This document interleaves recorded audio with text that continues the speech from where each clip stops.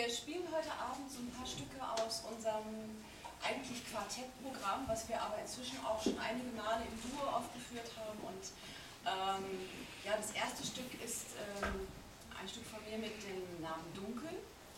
Und äh, was wir jetzt spielen, stammt eigentlich aus einem ganz anderen Programm. Und zwar äh, geht es um Jutta Hipp. Und Jutta Hipp ist eine deutsche Jazzpianistin gewesen,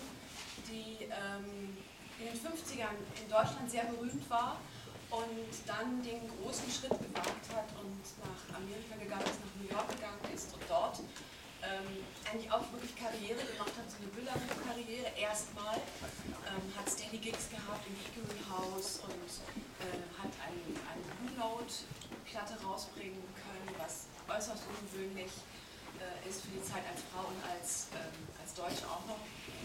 Und ähm, auf einmal hat sie aufgehört, von heute auf morgen. Hat nicht mehr Klavier gespielt, äh, bis auch an ihr Lebensende nicht mehr gespielt, ähm, hat dann als Lehrerin gearbeitet.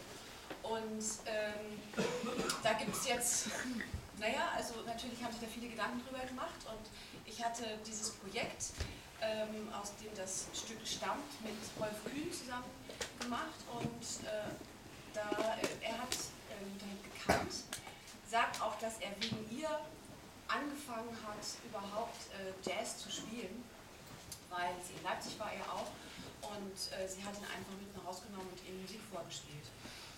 Und er hat sie auch in New York besucht und ähm, er denkt, dass es einfach so war, dass sie dem Druck nicht standgehalten hat. Es war schon, muss sehr heftig gewesen sein, den Abend sich auf die Bühne zu setzen und sich unter Beobachtung zu fühlen und die Kollegen reinkommen und genau zuhören und was ist das für ein, kann die das überhaupt und ja, und da hat sie dann doch lieber aufgehört.